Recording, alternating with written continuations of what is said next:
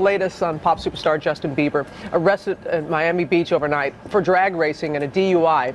ABC's Matt Gutman is there in front of the Miami Beach police station with the latest right now. Good morning, Matt. Good morning, Robin. That's right. Justin Bieber is in lockup in the Miami Beach police station right behind me. Apparently, he failed a sobriety test last night after getting busted for drag racing. He's still right here behind me. Apparently, it was quite a romp of a weekend for him here in Miami. This is the Miami Beach police station where Justin Bieber sits this morning after being arrested for drag racing and DUI. It was the culmination of quite a week in South Beach for the Biebs.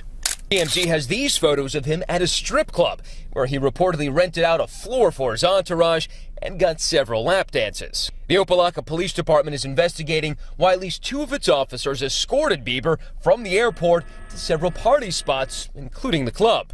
The babyface pop star has been in the headlines lately for all the wrong reasons. I see you. See you. This video taken by a neighbor led police to investigate whether the young pop star pelted his neighbor's mansion with eggs, causing a reported $20,000 of damage. Hey, you. I got another one for you.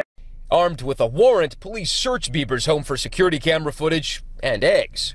Police say they found the footage, but also something else drugs. I believe it's Xanax and ecstasy, but we will wait for the actual results before we can confirm that. That led to the arrest of a member of Bieber's entourage on charges of felony narcotics possession.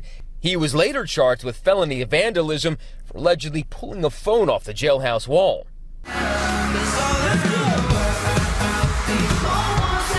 Justin Bieber is no stranger to trouble from spraying a picture of Bill Clinton in New York to speeding tickets in Dubai. But in an interview with the Hollywood Reporter to promote the movie Believe, the 19 year old phenom tells the magazine he knows who he is, even if the media doesn't. I don't give an expletive what they say. I know who I am and what I'm doing in my life and what I've accomplished. I'm happy with the man I'm becoming. There's a lot of lies being put out there. And Robin, you may hear the chopper above me. The media circus is already here. There's immense interest now that Justin Bieber is in that police station right behind me. In fact, a few minutes ago, a man came up to me telling me that he wanted to get busted in order to get inside with the Bieb himself.